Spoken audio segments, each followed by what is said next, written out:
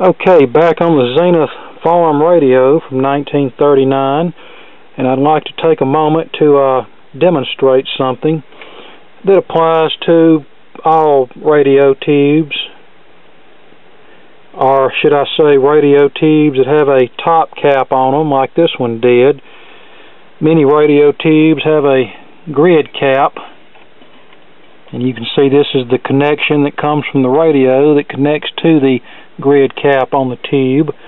Well, after many decades, the glue that holds the tube grid cap in place becomes ineffective, and whenever you attempt to remove the connection from the radio from the tube, the, the whole cap just breaks off the tube. Uh, sometimes you can minimize that effect by spraying a little contact cleaner around the connector and that will make it easier to remove. But in some cases no matter how careful you are the top cap is going to break off of the tube.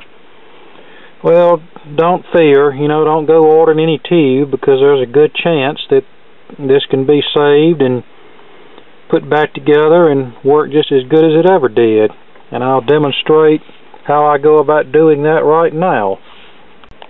First you need to prepare the tube cap to be remounted to the vacuum tube and as you can see I have it mounted in a pair of vice grip pliers. Don't squeeze too tight or you might destroy the tube cap and then you'll need to heat up this solder here and yeah my soldering iron tip looks kind of rough doesn't it you need to heat up this solder and use either a solder vacuum pump or desoldering braid to remove the molten solder and that will leave a through hole for the lead protruding through the top of the tube to be inserted through. Okay, as you can see we now have a through hole through the top of the tube cap so that will allow the lead coming up from the top of the tube to be reinserted and soldered. Next we will prepare the lead coming out of the tube for soldering and to do that we'll take a fine grade of sandpaper and sand this down a little bit. Also I can tell you that this lead is not long enough to uh, protrude through the hole on the top of the tube cap so we will have to solder a short piece of wire onto this. And I now have the tube secured in a pair of vice grips very gently as not to damage the pins. And for an extension lead I'll use a few strands of regular hookup wire twisted together and I will tin those strands and then I will attach them to this remaining little stub here and solder it in place. Okay, and there's the wire soldered onto the tube. And I actually found something that's a little bit easier to deal with than stranded hookup wire. Just an old component lead cut off of an old capacitor. And now I want to get all this crusty, dried up glue and junk out of the tube cap. So that's just going to take a little trial and error patience scraping that out. Okay, now comes the uh, part where we uh, glue the cap to the tube because we have to rely on more than just the soldering of the wire to hold it in place. We've got a couple of options here. I can either use standard white Elmer's glue or I can use this uh, super glue. Now, years ago I read a warning about gluing loose tube bases back onto a tube and the warning stated that superglue can sometimes cause the glass to crack due to the tube heating and cooling or something like that. I don't fully understand it. But these battery tubes, like what's in this radio, they don't get hot at all. So in this case, I think we'll be safe using superglue. If you're gluing the cap back on a tube or gluing a base back on a tube that gets fairly hot, you might want to play it safe and stick with Elmer's. So I will apply a little bit of super glue around here, place the cap in place, let it dry, and then we will solder the lead onto the cap. Okay, here we are. Just waiting for the glue to dry and then we will solder this wire in place, cut off the excess lead, and it will be done. Okay, here we go. Tube cap soldered back on, re-glued, and this tube is ready to be put back into service. So now if you encounter a tube with its top cap busted off, you know how to fix it. And as you can hear, the results of my repair were successful.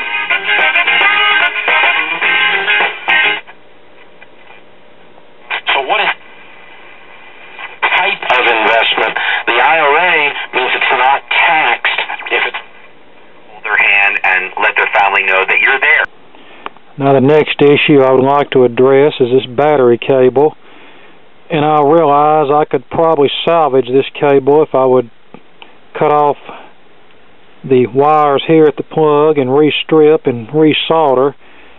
But there's some places that are starting to get hard and they crackle whenever the wire is flexed. So I'd feel a lot better about replacing it with modern color-coded wire I remember whenever I was a young teenager I bought a Philco battery radio from someone and at some point in the set's life, the wires had broken loose from the plug, and apparently whoever wired it wired it wrong and applied 90 volts to where the 1.5 volt filament supply was to go, and it burned out all the tube filaments. So I would feel a lot better by just replacing this old cable with color-coded wire and then I will make a note of which color corresponds to what terminal in case it breaks in the hands of someone else who might possibly own this radio after me, they'll know what to do with it and which terminal the wire goes to. So, we'll take care of that now. And it just so happens that I have this cable that I cut out of a television set that I junked. This was the cable that connected to the deflection yoke. It contains four wires, nice and bundled together, and this is perfect for a battery cable. So all I have to do is cut off this plug and strip and tin the leads, solder them to their appropriate spot, and we'll be good to go. Okay, we have our new battery cable made up. Looks a lot prettier than the one that came off of it. So, there's light at the end of the tunnel here. We're getting we're getting close. Okay, back on the Zenith 39 farm radio. Went to the parts house this morning to buy some 2.2 megohm resistors. Well, they were out of 2.2 megohm resistors. Probably due to the fact that they never reordered them from the ones that I bought there from six months ago. That seems to be the thing about our local electronics parts house. Uh, once a lot of those older parts are gone that nobody's buying anymore, they don't reorder them. It's really sad because whenever I first started fooling with TVs and radios back in the early 90s, I was going down there several times a week to buy stuff, and now if I go once a month, I'm I'm doing good. And I was talking to the owner of this parts house before he passed away, and he told me that back in the heyday that radio and TV repair people were his bread and butter. He said now if I have to depend on radio and TV repair people to to stay in business, I'd go broke. But anyway, I couldn't find 2.2 meg ohm resistors, but I was able to get 2 meg resistors, which should be close enough. And this one package here, you can tell, has been on the shelf a while. These are Sylvania ECG branded resistors. And you can see on the back they are marked GTE Sylvania. So those have been around for at least 30 years. But yeah it's a shame that I'm finding myself having to order more and more parts now because about the only need I have for going to the local parts house is to pick up solder, desoldering braid, heat shrink tubing, stuff such as that because the old stuff like capacitors and resistors, it's getting so they don't have anymore. When they run out, that's it.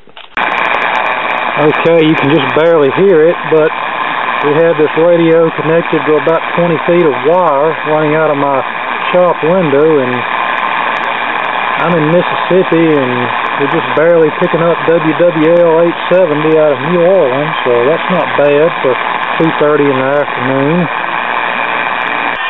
And this resistor here, R6, is in the plate circuit of the first audio tube. It's a 1 meg resistor, but the original resistor had increased to over 6 meg ohms, which of course would starve the uh, first audio tube of plate voltage, which means poor performance. But yeah, putting the right value resistor in there really helps things. The volume is louder. And besides the busted speaker, the audio is not as distorted.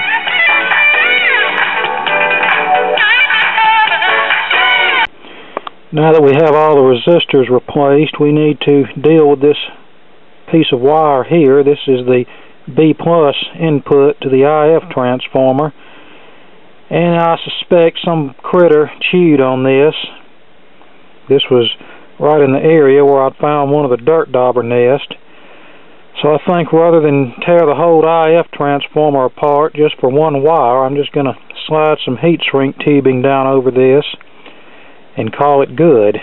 Now, if all the wires leading up into the IF transformer were chewed, I would have no choice but to pull the transformer and completely completely rewire it, but this way we can just slide a piece of heat shrink tubing over it and be done with it.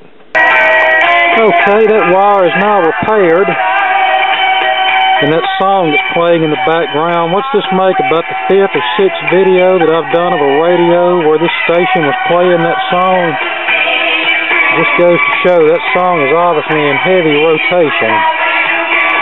But you think they could broaden their playlist a little bit. I mean, out of all the great songs that were recorded over the past 50 or 60 years, it seems radio stations want to pick and choose a a hundred or two songs to play over and over again, and I just simply don't get it. Okay, I think we're to the point where uh, we can restring the dial now. And in order to do that, I'll have to slide this pointer out off and remove the dial by removing these two screws here. Here we go with the dial and pointer removed and what's left of the dial string.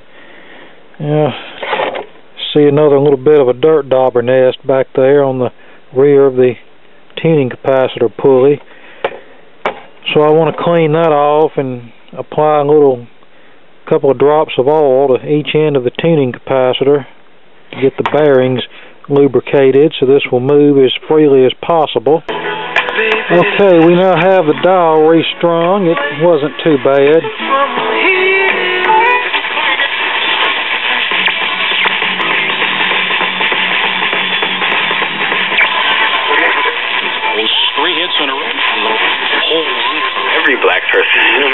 America. I don't know. Perhaps loved by the sewer plant. Let me read my horoscope, Aries. Some things come easy to you, but other things you may know it. Oh, about.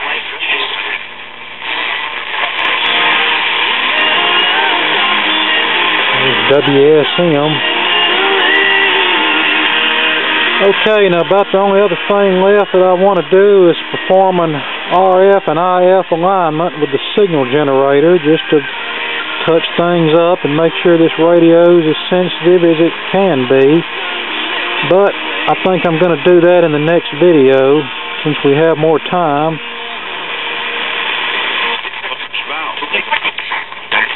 commit harm to.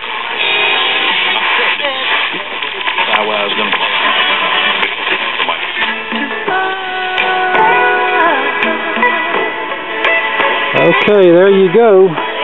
Hope you enjoyed it and more to come later.